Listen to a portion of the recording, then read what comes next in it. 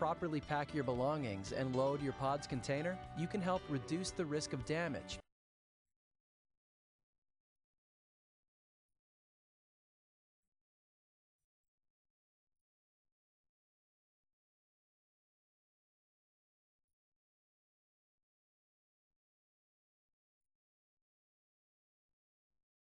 You can help reduce the risk of damage and maximize container space.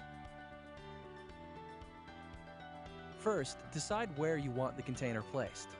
In order for our delivery system, known as Podzilla, to maneuver your container into place, choose a flat surface area that's free of branches and wires, with a clearance of approximately 12 feet wide by 15 feet high by 40 feet long. This is roughly